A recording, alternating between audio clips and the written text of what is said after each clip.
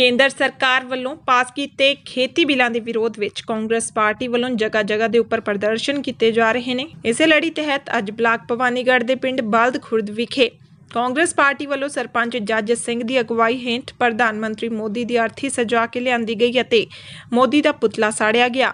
ਜੰਮ ਕੇ ਨਾਅਰੇਬਾਜ਼ੀ ਕੀਤੀ ਗਈ ਅਤੇ ਕੇਂਦਰ ਵੱਲੋਂ ਪਾਸ ਕੀਤੇ ਗਏ ਤਿੰਨ ਖੇਤੀ ਵਿਰੋਧੀ ਬਿੱਲਾਂ ਦਾ ਵਿਰੋਧ ਕੀਤਾ ਗਿਆ। ਉਹਨਾਂ ਆਖਿਆ ਕਿ ਜਦੋਂ ਤੱਕ ਕੇਂਦਰ ਸਰਕਾਰ ਇਹਨਾਂ ਕਿਸਾਨ ਮਾਰੂ ਬਿੱਲਾਂ ਨੂੰ ਵਾਪਸ ਨਹੀਂ ਲਵੇਗੀ, ਉਦੋਂ ਤੱਕ ਕਾਂਗਰਸ ਪਾਰਟੀ ਮੋਢੇ ਨਾਲ ਮੋਢਾ ਲਗਾ ਕੇ ਕਿਸਾਨਾਂ ਦੇ ਨਾਲ ਖੜੇਗੀ ਅਤੇ ਇਹਨਾਂ ਬਿੱਲਾਂ ਦਾ ਡਟ ਕੇ ਵਿਰੋਧ ਕਰੇਗੀ। ਆਜ਼ਾਦ ਟੀਵੀ ਨਿਊਜ਼ ਦੇ ਲਈ ਭਵਾਨੀਗੜ੍ਹ ਤੋਂ ਲਵਲੀ ਕੌਸ਼ਲ ਦੀ ਰਿਪੋਰਟ।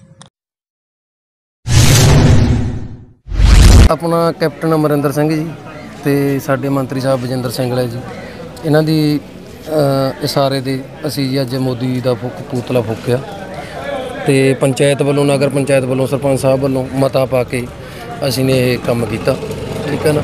ਇਹ ਉਸ ਦੇ ਵਿਰੋਧ ਦੇ ਵਿੱਚ ਆ ਵੀ ਜਿਹੜੇ ਬਿੱਲ ਪਾਸ ਕੀਤੇ ਨੇਗੇ ਸੈਂਟਰ ਸਰਕਾਰ ਨੇ ਠੀਕ ਹੈ ਨਾ? ਇਹ ਆਪਣਾ ਅ, ਕਿਸਾਨ ਮਾਰੂ ਨੇ ਮਜ਼ਦੂਰ ਮਾਰੂ ਨੇ ਪੰਜਾਬ ਮਾਰੂ ਨੇ। ਇਹਦੇ ਵਿਰੋਧ ਦੇ ਵਿੱਚ ਅਸੀਂ ਨੇ ਇਹ ਮੋਦੀ ਦਾ ਪੁਤਲਾ ਫੂਕਿਆ।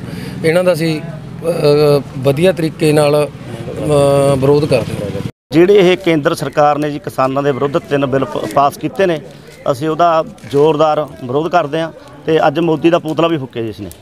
ਇਹ ਕਿਹੜੀ ਪਾਰਟੀ ਵੱਲੋਂ ਕਰ ਰਹੇ ਹੋ ਤੁਸੀਂ? ਅਸੀਂ ਸਾਡੀ ਨਗਰ ਪੰਚਾਇਤ ਵੱਲੋਂ ਕਾਂਗਰਸ ਪਾਰਟੀ ਵੱਲੋਂ ਤੇ ਕਿਸਾਨ ਜਥੇਬੰਦੀ ਵੱਲੋਂ ਕਰ ਰਹੇ ਹਾਂ ਜੀ। ਡਕਾਉਂਦਾ ਗਰੁੱਪ ਵੱਲੋਂ।